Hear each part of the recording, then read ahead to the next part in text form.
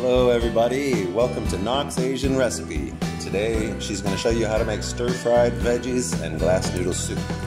So tofu skins are used in this soup and also some dried mushrooms.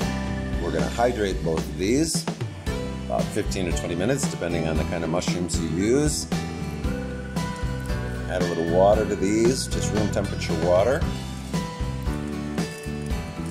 And also uh, some glass noodles we're gonna get ready. Glass noodles, we like to cook, cut them up into smaller pieces for the soup. Of course, you can use them whole if you prefer. Glass noodles soak only for about five minutes. Then you're gonna wanna drain them, set them aside. Now we're ready to cut up the tofu skins into smaller pieces for the soup, and also we're gonna do the same with the mushrooms.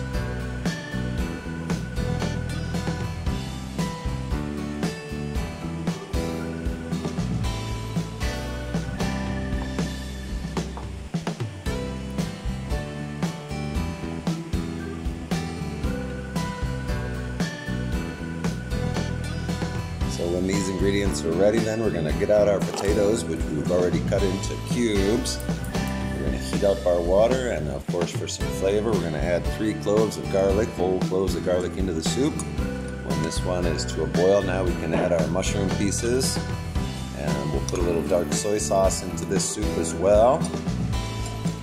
Let's get our potatoes cooking in there so they can soften up.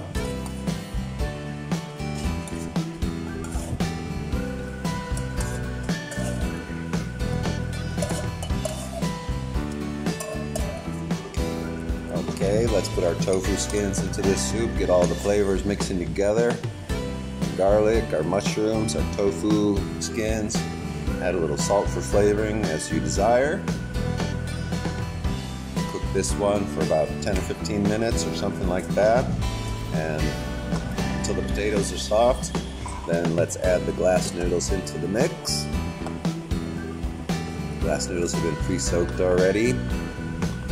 I like to add a little cornstarch, which I dissolve in some warm water, a couple tablespoons of cornstarch to thicken the soup up.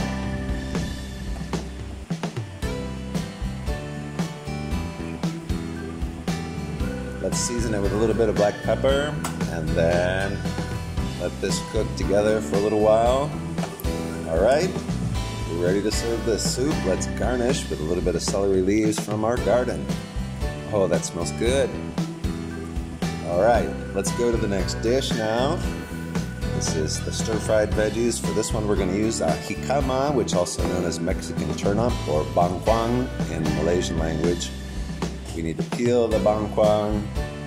We're going to slice it up and cut it into thin sticks. This is a vegetable that's very crunchy texture, a little sweet flavor. It's uh, ideal for uh, stir fry. It's actually originally from Mexico. I think the Spaniards carried it all the way to the Philippines and it became extremely popular in Southeast Asia. So much so, my wife didn't even realize that it was native to Mexico. So we've got this one ready. We need, we're ready to heat up a bit of oil and cook a little garlic in there, two or three cloves, finely diced. This is for our stir fry. We're going to add carrots into our stir fry, which we've sliced into small sticks as well pinch of salt to this one and we're going to get these things cooking together.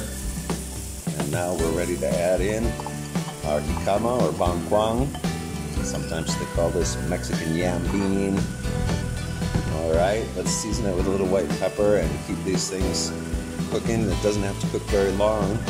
These ingredients are ready just in about five minutes or so towards the end when uh, when the vegetables are cooked, we'll add in a little bit of chopped green onions for flavor as well. Now we're ready to go. This looks beautiful, smells great. Serve it with some black vinegar. Extremely delicious.